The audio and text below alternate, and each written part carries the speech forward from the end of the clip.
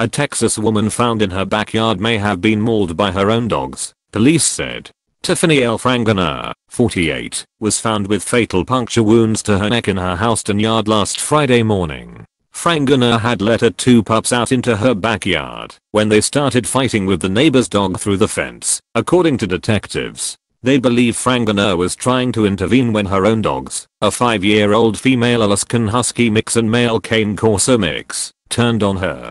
She was dead when cops arrived on the scene. Frangione's husband turned the two dogs over to the BARC Animal Shelter in Houston on Friday, according to local ABC affiliate KTRK. The dogs were scheduled to be euthanized on Monday. Police said they are awaiting the autopsy results to determine Frangione's official cause of death. The Harris County Institute of Forensic Sciences will hand down the findings.